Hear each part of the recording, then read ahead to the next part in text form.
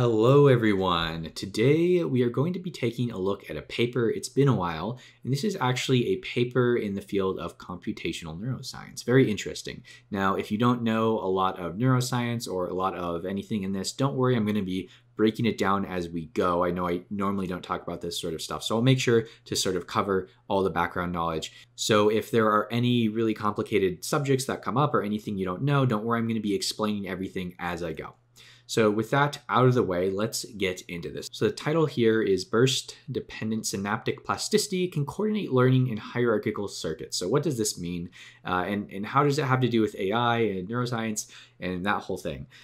So I'm actually going to continue on to read the abstract right now, or at least a portion of it, and then go over sort of what that means. So in the abstract, let's see, so starting from right here, synaptic plasticity is believed to be a key physiological mechanism for learning. Cool. It is well established that it, is, that it depends on pre and postsynaptic activity. Cool. However, models that rely solely on pre and postsynaptic activity uh, essentially blah blah blah they can't account for how all the learning happens in the brain especially when we take into account the fact that we need to be doing credit assignment and hierarchical networks very hard stuff blah blah blah that's essentially uh, what it comes down to what does that mean though that's that's a lot let's start with this idea of plasticity and neurons in the brain so I'm going to zoom out a little bit here. As you can see, there's an art, uh, a nature paper. So let's scroll down and maybe zoom in to the right. Hopefully this is enough to see. So on the right here, I'll kind of draw what I'm talking about. So let's say we have one neuron in the brain, right? So neuron is like the, the cells in the brain that do the, all the computation or the majority of it. Uh, so you have your little neuron here. Um, well, neurons connect to other neurons, unsurprisingly. So here's like neuron two, and they connect to each other.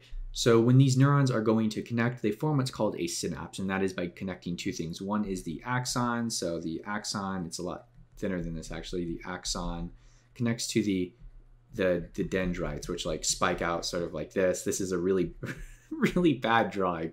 Um, dendrite. But essentially, the whole idea is one of them sticks out a thing, the other one sticks out another thing. They, they meet in the middle and they communicate via spike. So a spike would look something like this, right? Uh, it's an electrical spike, so it's electrical energy, and then they spike up and they do there. And that's how they communicate, right? There's either a spike or not a spike. It's a binary signal. And this is how neurons communicate with each other. And, you know, this is what neural networks or artificial neural, neural networks were originally modeled after, though there are lots of differences as we've come to know. Uh, but, but this is the general idea, right? They communicate through these spikes. And this paper deals with how these neurons learn.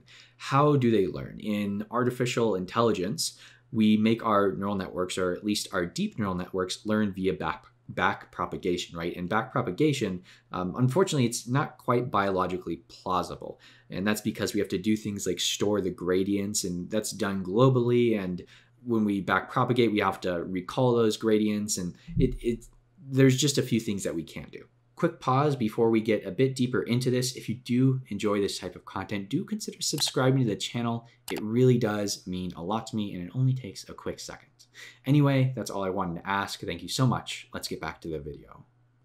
So this paper deals with how we can understand learning or how learning might happen within the brain. And it explores that first mathematically, it proposes some some ideas and then it goes and actually simulates those using a simulated biological or spiky neural network is what these are called. So uh, explaining some of the words and some of the what some of that abstract meant. It talked about plasticity, right? So plasticity is the changing of the weight. So plasticity, these are these are synapses, right? Um, when we change these, that's called plasticity, and that's how, for the most part, we think uh, the brain learns, right? There might be other components, but that, that's sort of the, the big one. By changing these weights or the strength of these synapses, we can change how neurons communicate. So, what this is specifically talking about is we have some rules for plasticity. Specifically, one of these rules we have is called, uh, I believe it's called Hebb's rule. Hebb's rule or something like that. Um, and it essentially states that when a neuron, when two neurons fire uh, in in tandem, one after the other, like uh, like right here, right? If we had neuron one send out a signal, sorry, this is all in black by the way. I've been having trouble getting other colors, but when we have one send out a signal, uh, a spike, and then the next neuron or the dendrite right after it spikes, that is going to cause this synapse right here uh, to strengthen. So that, that's essentially what Hebb's rule states. It states uh, learning. So it's like learning via plasticity.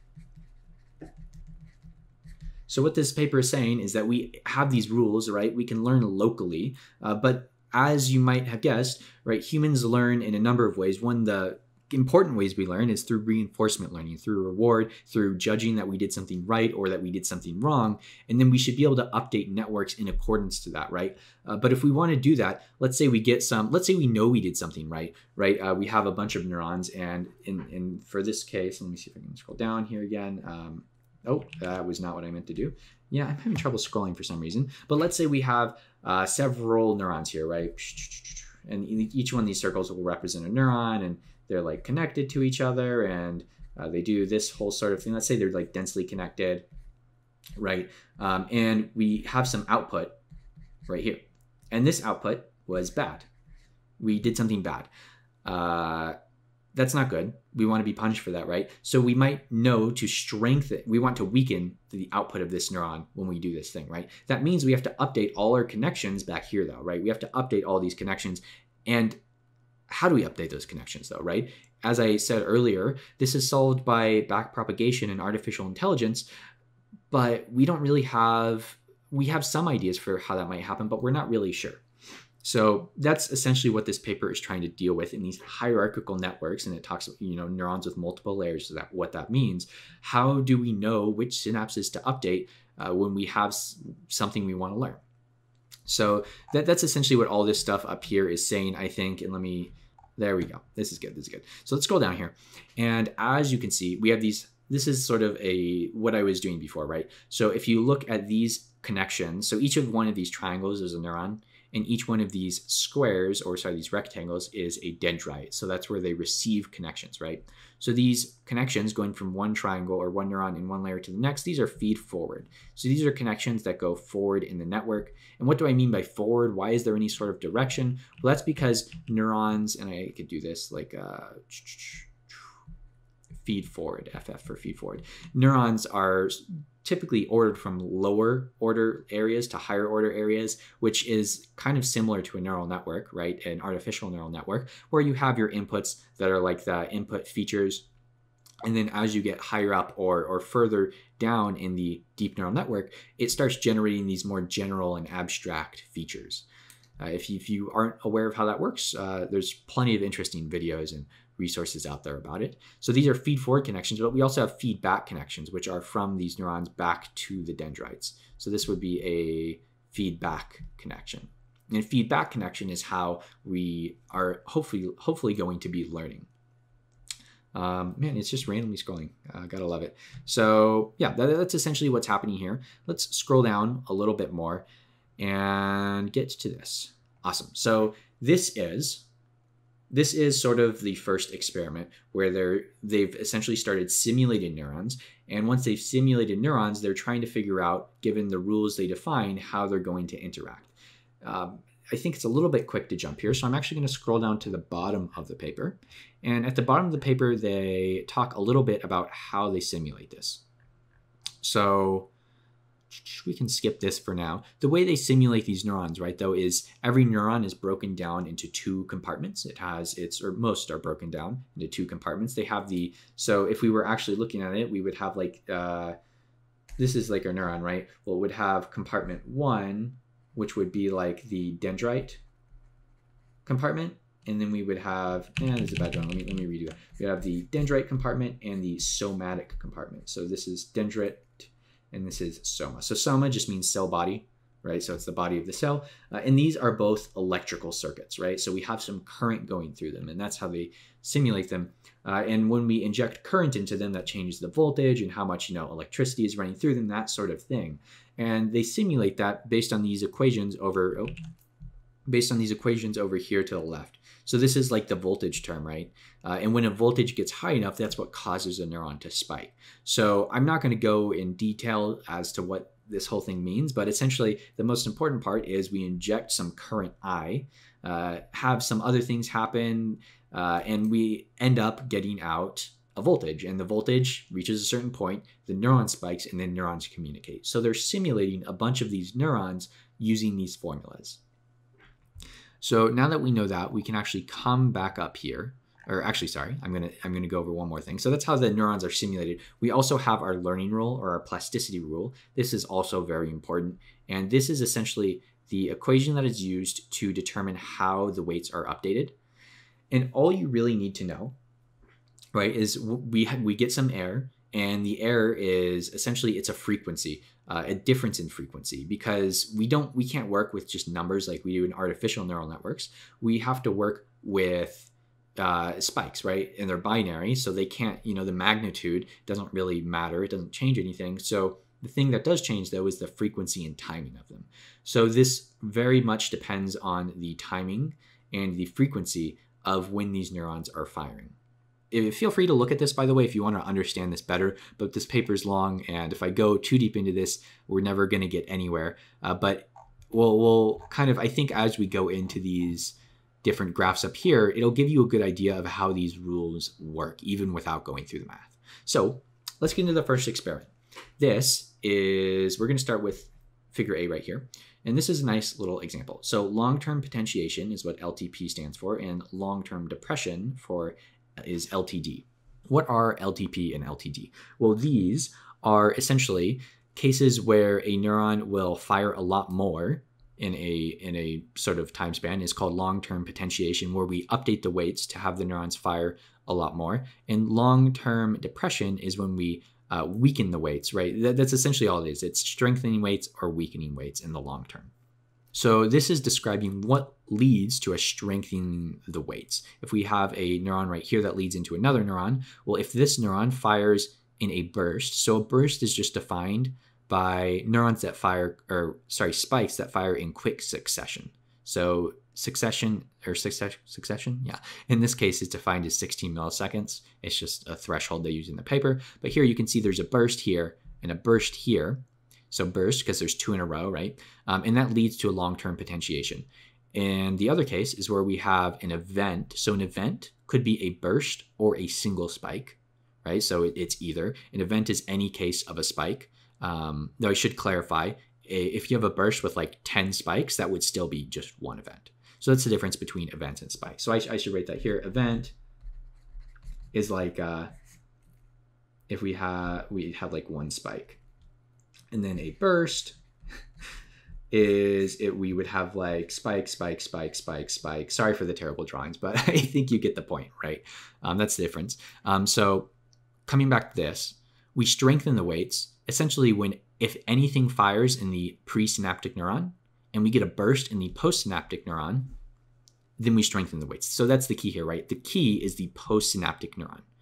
If this has a burst followed by any sort of event pre in the in the neuron before it, we strengthen the weights. However, uh, if it only has a single event, a single spike, then we weaken the weights.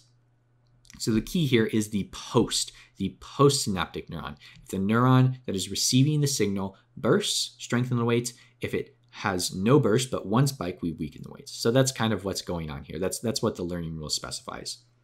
So these other graphs right here are, are quite interesting. I recommend you take a look if you are interested in this kind of thing, this B through D, these graphs. Uh, but what I want to focus on is E, uh, E through G, E, F, and G. So in E, F, and G, they've set up this sort of scenario where we have two different neurons. So this is the lower level neuron right here, right? So this, this is where we're uh, getting some input and then the signal is being passed through, this is an axon right here, right? Uh, so it's being passed through this axon to this higher level neuron, this blue neuron. So once it receives that signal, it will, I don't know, do something. Um, but then there's two variables that we are controlling here. One, uh, and we're not really going to worry about this one, but I'll just let you know, is there's some presynaptic perturbation. This is just a current they're putting in to the presynaptic neuron through a dendrite. Uh, and then over here, we have input going in, and sorry I'm drawing so many arrows, probably gets a little confusing, uh, but then we have distal input in the upper level neuron. So you can think of this as like feedback, right? So this is feedback from other neurons. Maybe we're trying to learn. So we send a current into this dendrite, or we, we you know, we spike, and that sends a current to it, or sorry, not a current to it, but it sends the spike to it, which produces a, a uh, rise in voltage, which might cause another spike, and so on. And we essentially want to see when we have a setup like this, we have two neurons, one that's receiving feedback and one that's feeding forward to that neuron. Uh, what what kind of happens? And what we see, what we see is let's start with E right here. The blue line you see is the postsynaptic ER, that is the event rate. So, and the the red line is the postsynaptic burst, the burst percentage, I think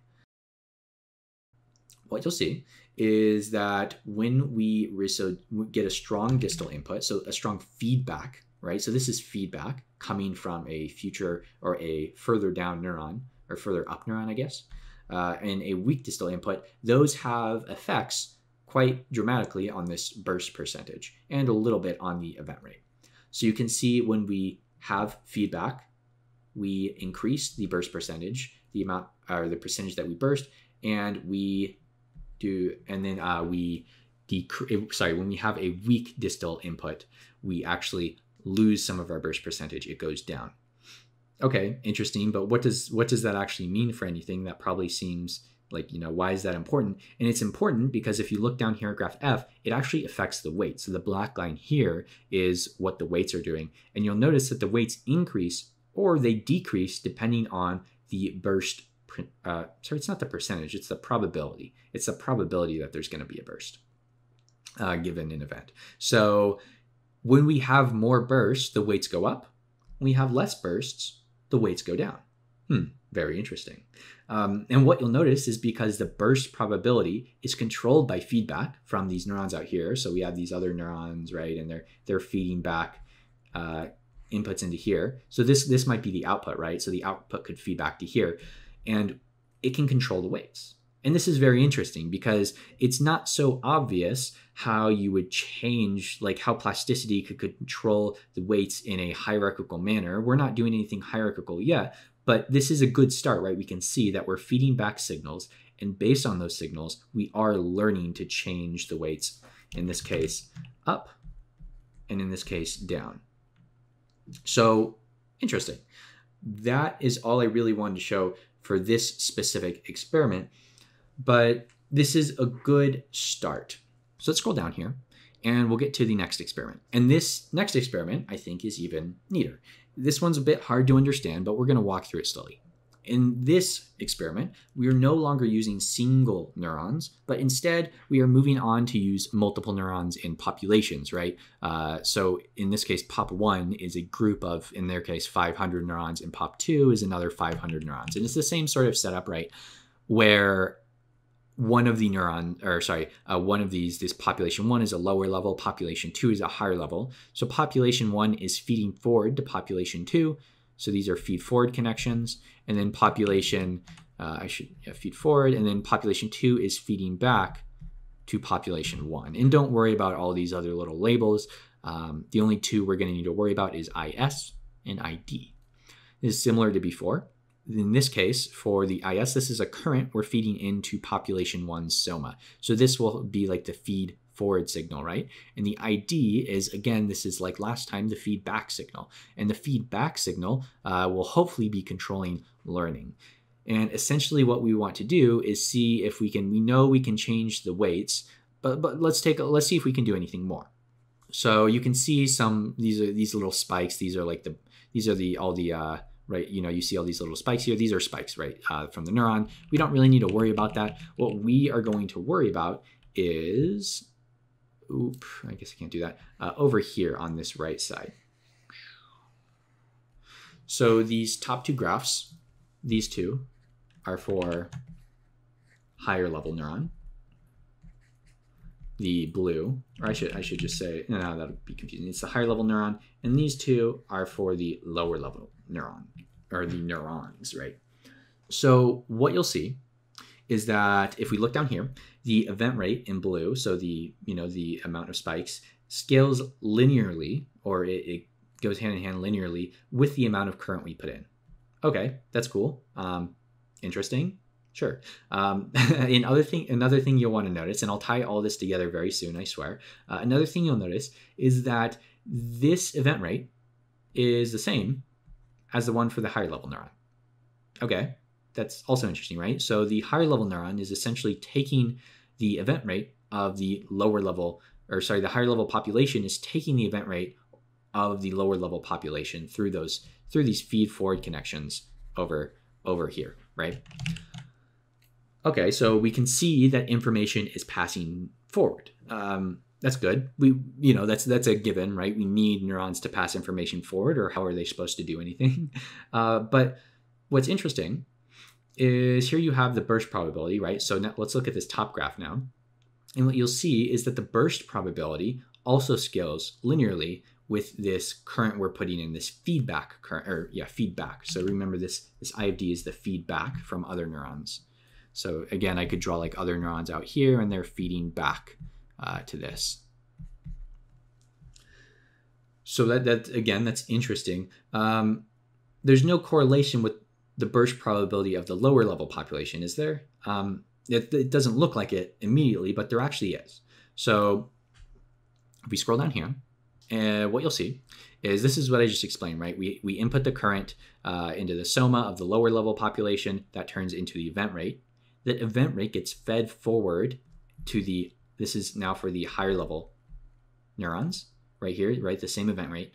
Um, and then we look over here to the feedback current, turns into burst probability. And what's actually happening is the burst probability times the event rate gives us the burst rate. So this is the rate at which bursts are occurring. So a burst probability is the probability a burst will occur. A rate is what the rate at which it actually occurs, right? So this is again, I believe this should be a frequency. Yeah, it's a, it's a frequency. Wait, is it? Mm, I think it is. Anyway, uh, what you'll notice is that the burst rate of the upper level neuronal group. We can see it again right here. This is the burst rate up here. Outline that um, is the same as the burst probability. You'll see these the exact same shape almost. Is the same as the burst probability of the lower level neurons. Okay, why does that matter? It matters because we have now conveyed a signal from the higher level population to the lower level population. This might be confusing because it's not a straightforward thing, right? We're not sending back a five and then we get a five. We're sending back a burst rate and we're getting the same burst rate. We're getting the same burst rate frequency. Or sorry, we're sending back a burst probability and we're getting the, yeah, we're sending back a burst rate and we're getting the same numbers, but as the burst probability. So we're sending back some sort of information, even if it's not a super straightforward way of doing it. Now, we showed this last time too, didn't we, in this first experiment, that we were sending back information and that was changing the weights. So, so why do we care this time that we're doing it? And the reason we care is now we are doing something. I'm going to zoom out. We're doing something called multiplexing. Um, multiplexing. And what multiplexing is, is we have feed forward signals and feedback signals at the same time. Specifically, we're doing them, and sorry, let me set off screen maybe, uh, at the same time without interrupting the other signals. And this is difficult, right? Imagine, and, and this is this is where the beauty of this paper I think really comes in, or one I mean, I'm not sure the beauty, but the, the core point of it.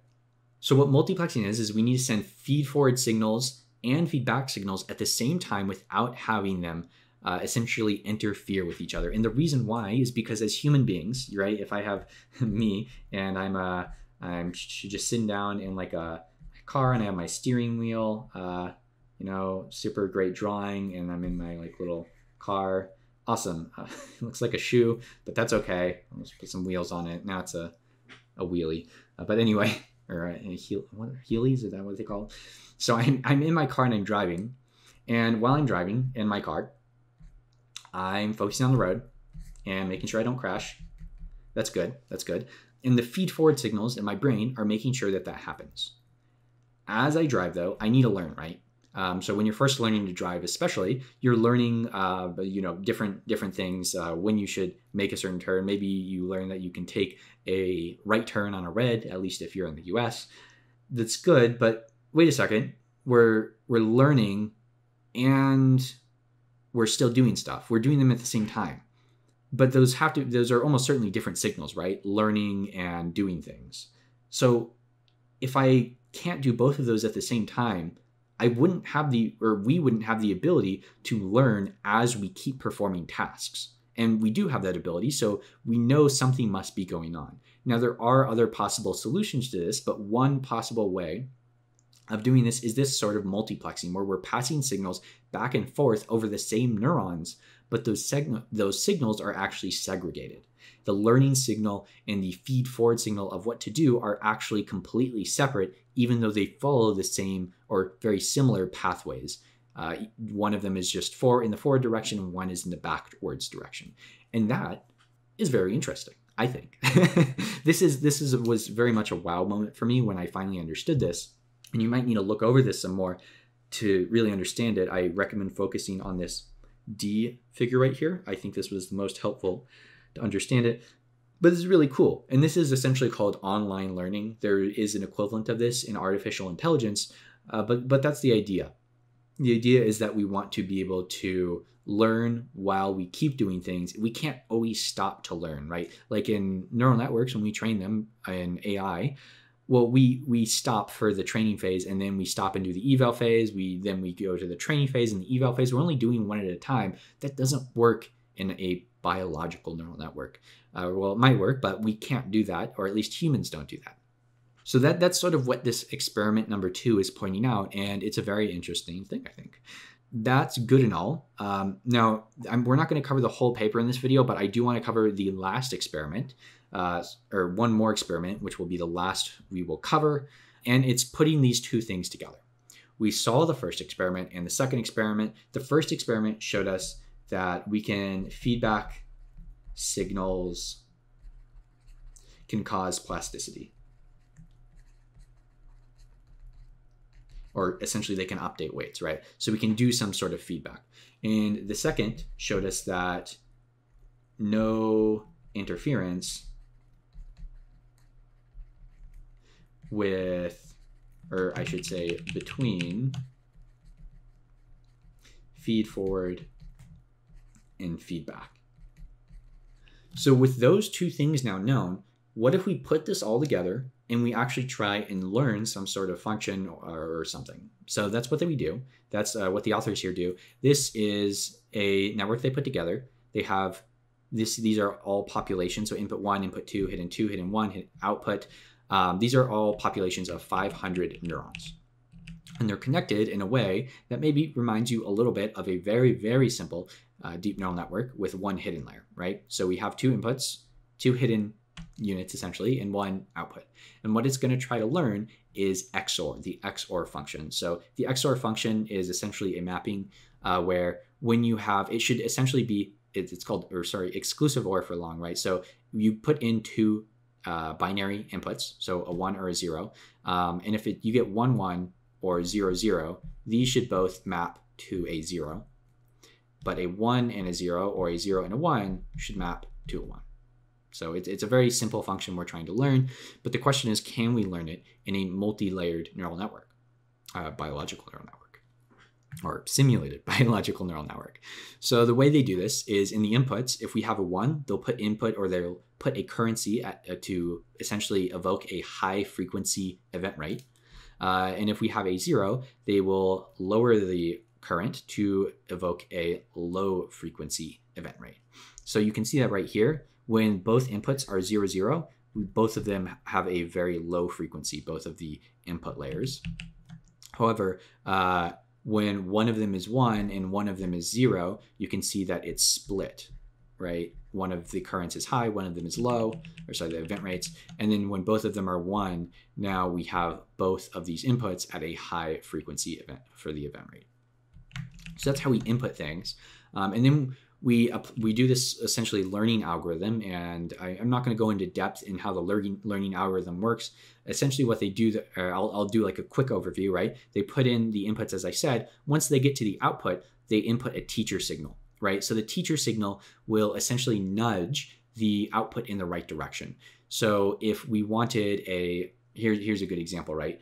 uh, over here, you'll see a graph. The pink line right here is the teacher signal. Oh, that's uh, not great, but uh, you can probably see it, right? So the zero, zero, the zero, zero, this should give us an output of zero, right? Um, so because it's zero, uh, they give a low frequency as the teaching signal. However, when we have one zero, this is something that should map to one, right? So the teaching signal should correspond to one or be a high frequency. So they are essentially inputting based on what we want some sort of, I already have an arrow there, some sort of a learning signal or teaching signal is what they call it.